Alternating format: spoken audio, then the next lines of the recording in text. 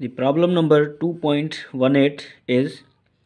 find the work done in moving an object along a vector r is equal to 3i plus 2j minus 5k if the applied force is F is equal to 2i minus j minus k. So first of all we will form a data as the displacement is obtained as displacement is obtained as 3i plus 2j minus 5k and force is obtained as 2i minus j minus k so we have to find work done. As we know that in solution we will write the formula as work work done is equal to the dot product of force and displacement. So by putting the values work done will be equal to as the force is obtained as 2i minus j minus k dot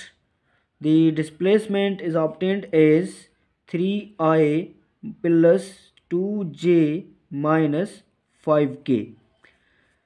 so the work done will be obtained as now we will multiply the values of i with i and the values of j with j and values of k with k so 2i into 3i it will be 6i dot i. Minus into plus it will be minus.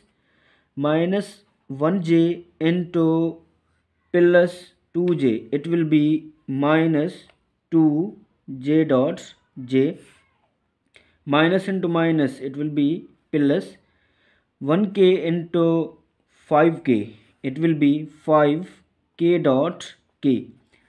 As we know that i dot i is equal to j dot j is equal to k dot k is equal to 1 these all are equal to 1 so work done will be equal to 6 into 1 minus 2 into 1 plus 5 into 1 so work done will be equal to 6 into 1 6 minus 2 plus 5 so work done will be plus 6 plus 5 it will be plus